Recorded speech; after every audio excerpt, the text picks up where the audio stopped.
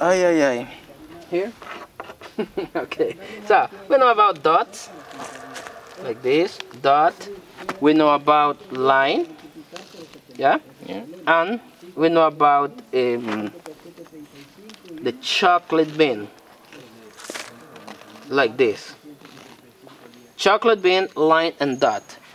This is the three signs we know about the Maya numerical system. So, to understand the system they employ today, we need to know about this.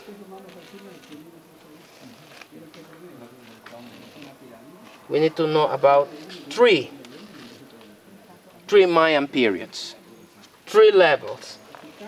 Yeah, so, okay, it's clear here. One, two, three levels. So, this is the first three periods of the long count calendar. Remember, the long count is nine periods.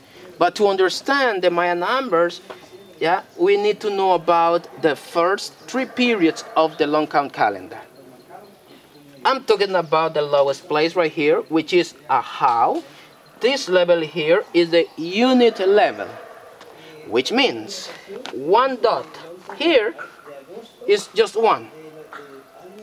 Two, three dots, this is number three, four dots, number four, line is five, in this level, Ahau.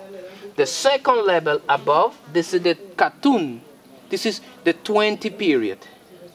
Yeah? So this is the base, which is Katun 20. Remember, 20 is the base of the Maya numerical system. This is a vigesimal system.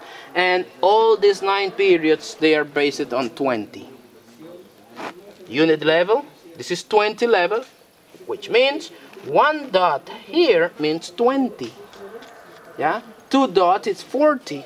Line for five, and the second level means 100. Right? So then, the third level up, this is Bakatun.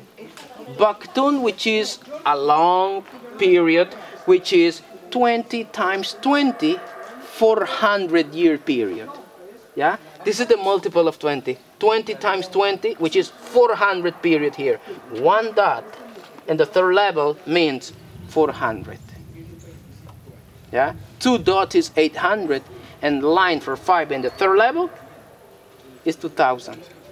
Yeah, five times 400. Okay? And a fourth level would be 20 times 400, which is 8000. And so on. All is based on 20. Okay? So, Ahau, Katun, Baktun. It's enough, these three levels, to understand uh, the Maya numbers today.